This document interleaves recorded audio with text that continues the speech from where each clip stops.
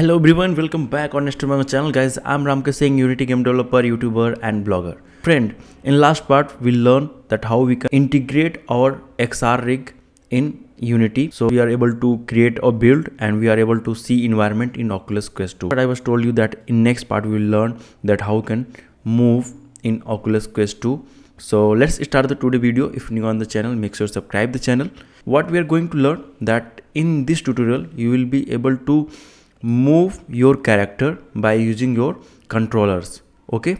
And you will be able to rotate your characters by using your joystick. Integrated xr interaction toolkit. So here we have to go add component. And what we need so we want to add locomotion. Here you can see it is locomotion system. So just add it.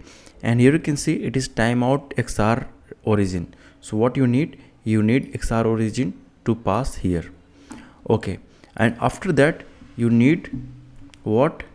Continuous component continuous move provider and that should be action based not device based so you can need continuous move provider and here is the system. So just you can pass locomotion system here and here is the movement speed.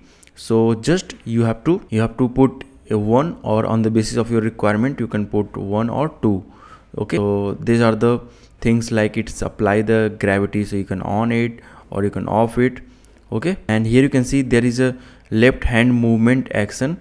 So want to move with your left hand so you can just off right hand.